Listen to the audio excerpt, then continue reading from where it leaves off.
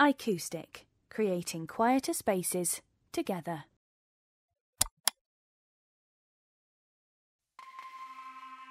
Science is everything.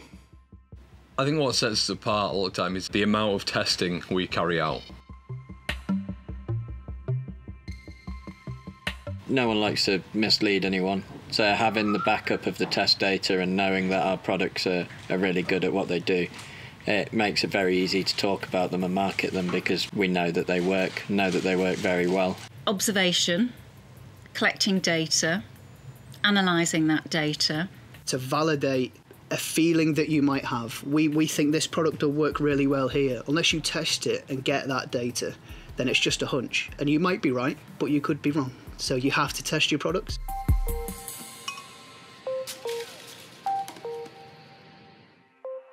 So sometimes the basic principles of science or physics are really key to how we want to stop the sound getting through.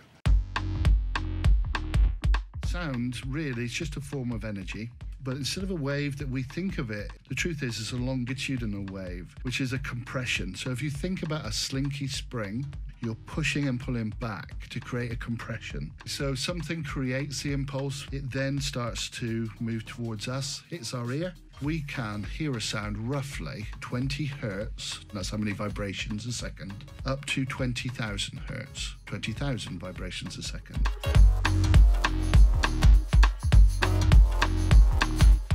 What we've got here is a tiny little music box. So when I turn this, it creates a sound.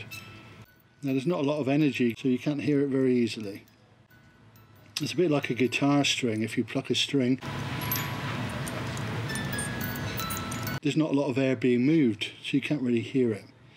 But if you put that guitar string onto a bridge, onto a hollow body, a bit like this wooden top, and I do the same thing, it's significantly louder.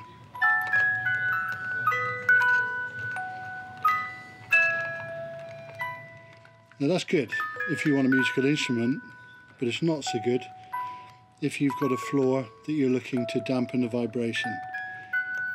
So a lot of soundproofing is just simply trying to sit between what's creating the noise and your floor, or wall, or ceiling. You can't suspend it in the air, but you could put a pad of material, and that would then reduce the noise.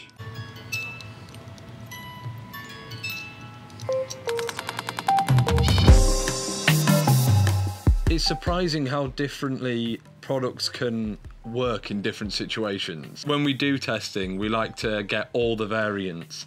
So we've maybe tested 15, 20 different variants on the actual product, but also in different situations.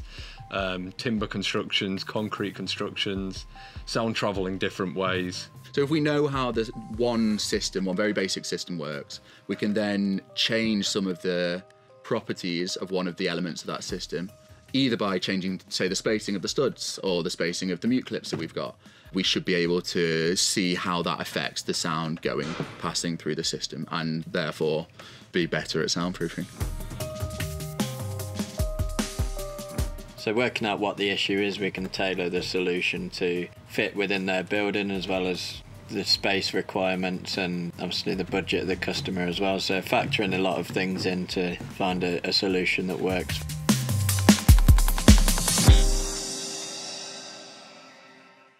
iKoustic, creating quieter spaces together.